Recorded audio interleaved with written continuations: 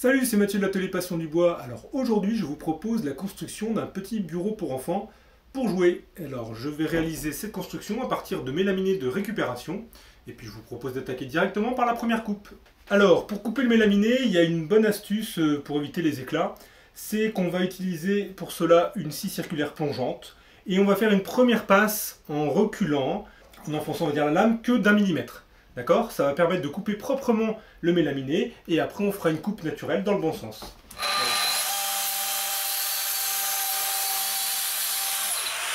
Donc on voit, voilà, c'est vraiment rentré un millimètre dedans, juste pour casser, on va dire, euh, le, mélaminé qui se trouve au-dessus. Hein. et on voit que du coup, la coupe, elle est impeccable, j'ai quasiment pas d'éclat. Alors maintenant, on est reparti, et on va se faire une coupe normale, en profondeur classique.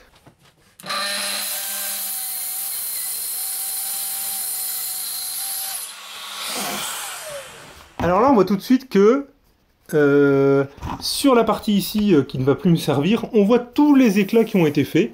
Parce que j'ai pas mis, on va dire, le petit adaptateur là sur le côté de la scie pour les par éclats.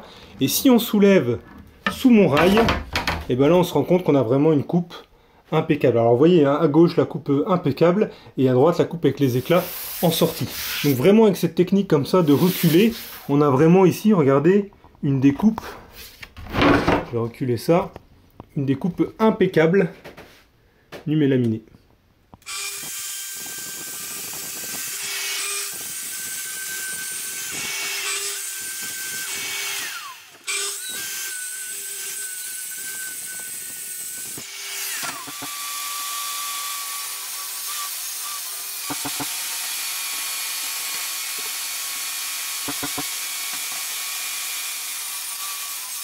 Thank